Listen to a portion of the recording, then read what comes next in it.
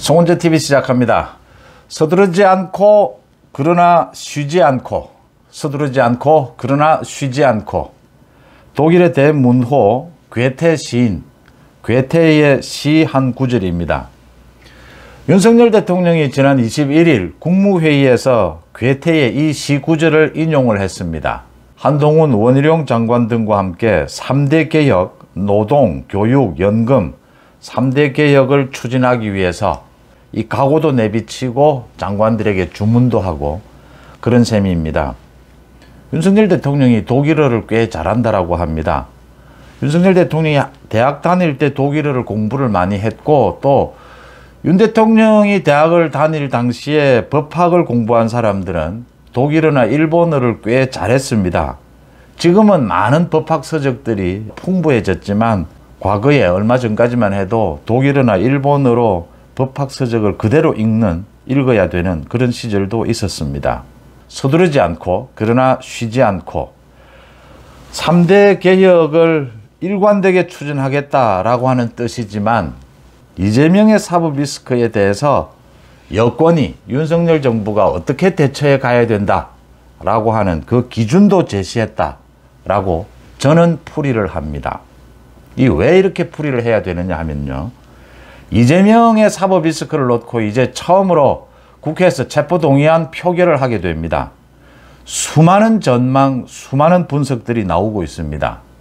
이재명이 이 자신에 대한 사법 리스크, 이 부분에 대해서 어떻게 대처할 것인가, 민주당은 어떻게 가게 될까, 국민의힘은 이걸 어떻게 받아치게 될까, 이재명이 내년 총선까지 가는 것이 그대로 야당 대표로 가는 것이 국민의힘에 유리하냐, 불리하냐, 만약 이재명이 당대표직을 내려놓으면 민주당은 어떻게 될까? 분당이 되는 것일까? 아니면 색깔을 바꿔서 총선 대비를 하게 될까? 수많은 전망, 음모, 뭐 갖가지 분석들이 나오고 있습니다. 여기에서 가장 중요한 것은 팩트입니다. 실제적으로 이재명에 대한 사법 리스크가 어느 정도냐? 검찰이 현재까지 밝혀낸 건 어느 정도냐? 재판에서 이게 어떻게 되느냐? 앞으로 이재명은 어떤 행보를 보이게 될 것인가? 이재명의 민주당, 지금 민주당은 과연 이재명을 극복할 정치적 동력이 있느냐? 국민의힘은 이걸 되받아 칠 수 있는 정치 역량을 갖추고 있느냐? 이런 많은 부분들을 정말 정밀하고 냉정하게, 냉정하게 현실을 분석한 다음에 대응해야 한다. 그런 점에서 가장 중요한 것이 집권 여당으로서는 서두르지 않되 쉬지 않고 이 자세다라고 하는 부분입니다. 먼저 이재명의 이번 체포동의안 표결 어떻게 되느냐? 부결됩니다. 현재로서는 부결됩니다. 민주당은 이걸 가결시킬 민주당 내에 힘이 없습니다. 두려움에 떨고 있습니다. 이재명만큼 민주당도 두려움에 떨고 있습니다. 몇 표의 반란표가 생기느냐? 이게 중요하다. 이재명의 사법 리스크는 이제 큰 윤곽은 다 드러났습니다. 선거법 위반은 다음 주부터 매주 이제 재판 받으러 나가야 합니다. 이재명이. 성남FC 거의 얼개는 드러났습니다. 대장동 비리 얼개는 다 드러났습니다. 또 정자동 비리 그 다음 나아가서 대북 송금 큰 가닥은 잡혔습니다. 핵심 인물들 김만배를 비롯해서 정진상, 김용, 이화영 입을 여느냐 열지 않느냐에 따라서 어디까지 입을 여느냐에 따라서 이재명에 대한 검찰 수사의 강도, 이재명에 대한 재판 과정 어떻게 진행될 것인가는 달라지겠지만 이재명의 사법 리스크에 큰 얼개는 모두 드러났다라고 하는 겁니다. 이 얼개의 결과는 검찰이 이재명의 구속영장에서 밝혔듯이 무기징역까지 해당되는 굉장히 무거운 죄질이다라고 하는 것입니다. 많은 뭐 지금 체포동의안을 놓고 이야기가 나옵니다. 체포동의안을 부결시켜주면 이재명이 대표직을 내려놓을 것이다. 이재명의 그동안 행동으로 보면 이재명은 대표직을 내려놓지 않습니다. 또 이재명은 대표직을 내려놓지 않기 위해서 대표직을 내려놓을 것처럼 지금 의원들에게 이야기를 합니다. 그럴 수도 있는 것처럼 의원들을 꼬우기 위해서입니다. 사기치고 있는 것이죠. 이재명은 대표직을 내려놓지 않습니다. 이재명은 대표직을 내려놓는 순간 이재명은 죽는다는 걸 잘 알고 있습니다. 그 다음 기소되면 대표직을 내려놓는다. 당은 80조에 의해서 그러지 않기 위해서 단서 조항을 이미 만들어 놓았습니다. 이재명이 민주당에서 급작스럽게 대선 후보가 되고 민주당 대표가 70%가 넘는 지지를 받아서 당 대표가 될 수 있었던 것은 이재명이 민주당 지지층에게 보여준 소위 어거지를 써서라도 죽기 살기로 대응한다. 수많은 비리를 안고 형수 쌍욕을 하는 이재명이지만 지금 민주당 지지층은 언제나 자신들이 우리 사회에서 아직도 비주류, 아직도 소수라고 생각합니다. 그래서 무슨 짓이든 강력하게 투쟁해서 지금 소위 보수, 주류를 깨부셔야 된다. 뭐 논리도 합리적인 이론도 없습니다. 그냥 강하게 나서서 어떻게 해서든지 윤석열 정부를 부셔야 한다. 이런 식의 주장입니다. 거기에 꼭 맞는 리더십이 이재명 식의 무슨 짓을 해서라도 어거지를 부려서라도 강하게 맞선다. 이게 지금 이재명의 정치적 브랜드입니다. 그래서 이재명은 그걸 내려놓는 순간 모두 죽는다는 걸 알고 있습니다. 이재명에게 또 영장 실질 심사를 받아라. 이재명은 그렇게 할 수가 없습니다. 이재명에 대한 압박이지만 그렇게 하면 뭐 이재명이 살아날 여지가 있다. 동정표를 받고 탄압받는 이미지를 받을 수 있다. 이재명은 절대 그렇게 생각하지 않습니다. 이재명은 영장실질심사 받으러 가면 검찰의 입은 기소장을 이재명도 꼼꼼히 읽어본 겁니다. 거짓말로 정치 탄압이다라고 하는데 자신이 영장실질심사 받으러 가면 자신이 한 행동으로 바로 구속이라는 걸 알고 있습니다. 못 갑니다, 이재명은.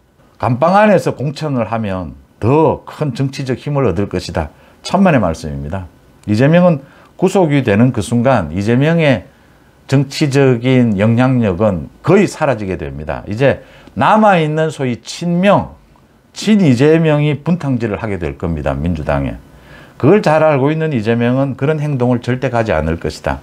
이재명은 계속 재판으로 끌고 가서 내년 총선을 이재명의 이름으로 내년 총선을 치를 것이다. 이재명이 바라는 것은 가능하면 국민의힘이 분열을 일으키고 윤석열 정부가 헛발질을 할 그런 요행만을 바라고 있습니다. 이재명은 그렇게 해서 자신들의 민주당의 그 지지층이 있기 때문에 어느 정도는 총선에서 유지할 수가 있다. 지금 그러지 않으면 자기가 죽기 때문에 이재명은 민주당보다 훨씬 자신이 더 중요한 것이기 때문에 그렇게 버틸 것이다. 그게 가장 현실성이 높습니다.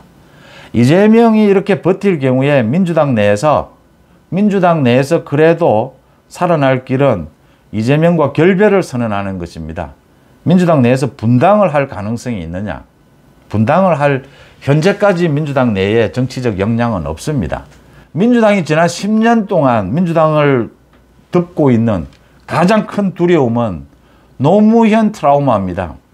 민주당의 분당이었습니다. 민주당에서 지금 가장 중요한 것은 분열, 배신 뭐 이런 겁니다.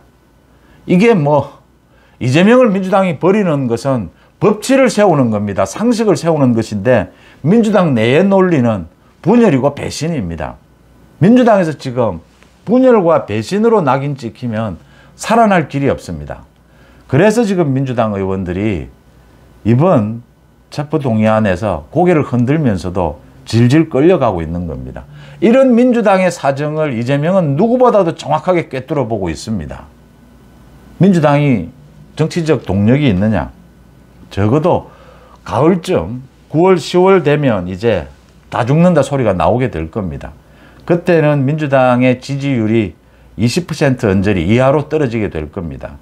그러면 169명 다 죽는다 소리가 나오게 되면 민주당이 이재명에게 총선까지 끌려가지 않는다면 총선까지 끌려갈 가능성이 가장 높고 그렇지 않는다면 이재명을 이선으로 물리고 각 개파별로 대타협을 해서 얼굴 마담을 내세우는 방법입니다.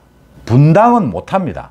민주당 내에서 1년 내에 분당을 할 정치적 역량을 비축하고 그 역량을 드러내 보일 그럴 가능성은 매우 낮습니다. 이낙연도 그럴 만한 힘을 갖고 있지는 못하다라고 보는 것이 현실적입니다.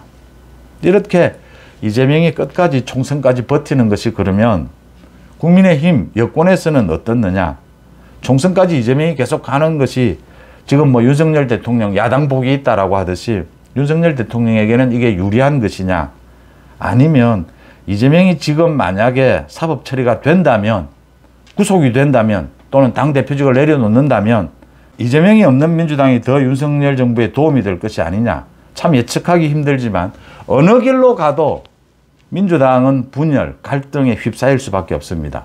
이재명이 있어도 갈등을 빚을 수밖에 없고 만약 여기서 이재명이 사라진다면 당대표직을 내려놓는다면 분열이 더 커질 수도 있다라고 하는 겁니다. 윤석열 대통령에게 이재명의 민주당이 야당복이 있다, 야당복이 있다라고 할 수도 있고 그렇지 않다라고도 할 수가 있습니다. 윤석열 대통령이 만약에 이런 이재명의 민주당이 아니었다면 언제나 야당과 협치할 준비가 되어 있습니다. 윤석열 대통령은. 윤석열 정부가 야당과 합리적인 야당과 협치를 한다면 지금의 윤석열 대통령의 지지율, 국정 수행 방향을 보면 윤석열 대통령의 지지율이 10%에서 20% 곧바로 훌쩍 뛸 수가 있습니다. 야당과 협치하는 모습을 보여주면. 그런데 이재명의 민주당과는 협치를 할 수가 없는 겁니다. 이재명 때문에. 이재명 사법 리스크 때문에. 중요한 것은 현실에서의 팩트, 냉정한 분석인데 이재명이 있건 없건 윤석열 정부는 자신의 길, 법치와 개혁의 길로 가면 지금 어떤 상황으로도 이재명의 민주당을 압도할 수 있다, 총선에서. 단, 여권이 분열되지 말아야 한다. 내부 갈등은 뭐 어느 정도 있을 수 있습니다. 어느 정당이나.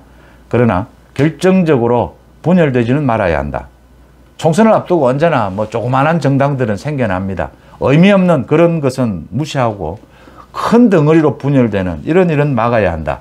이번 전당대회에서 그런 부분들이 강조돼야 하고 또 그런 부분들을 모두 예민하게 주시해야 되는 부분들입니다. 그래서 윤석열 대통령의 이 말 서두르지 않되 쉬지 않고 이재명의 민주당 지금 야당을 대처하는 여당의 여권의 태도여야 한다라고 하는 것입니다. 앞으로도 수많은 새로운 내용들이 나오게 될 겁니다. 이재명에 대한 사법 리스크. 또 이재명이 그 부분에 대응해서 수많은 새로운 잔꾀들을 내놓을 겁니다. 새로운 사기도 치고 거짓말을 하게 될 겁니다. 민주당도 속여야 하고 국민도 속여야 하고 여권도 속여야 합니다. 자기 자신도 속여야 할지 모릅니다. 이재명은. 그러면서 끝까지 이재명은 총선까지 버텨야 할 것이다. 버티지 못하는 한 이재명은 정치적으로 완전히 사망하는 길이다. 이재명의 사법 리스크에 대한 검찰 수사가 앞으로 강도가 더 높아지면서 새로운 사실들도 많이 드러나게 될 테고 또 거기에 따라서 이번 체포동의안에서 반란표가 얼마나 생기느냐 또 다음 체포동의안이 넘어올 경우 이재명이 매일 재판을 받으러 나갈 경우 앞으로 또 검찰 조사를 여러 차례 더 받아야 되는 이런 많은 전국의 변화들이 남아 있습니다. 그렇지만 정확한 것은 현실을 냉정하게 쳐다보고 거기에 대응해야 한다. 그 정답은 윤석열 대통령의 말입니다. 아니, 괴테 시인의 시 구절입니다. 서두르지 않되 쉬지 않고. 여러분들은 어떻게 보십니까? 주말 송은재 TV 마칩니다. 고맙습니다.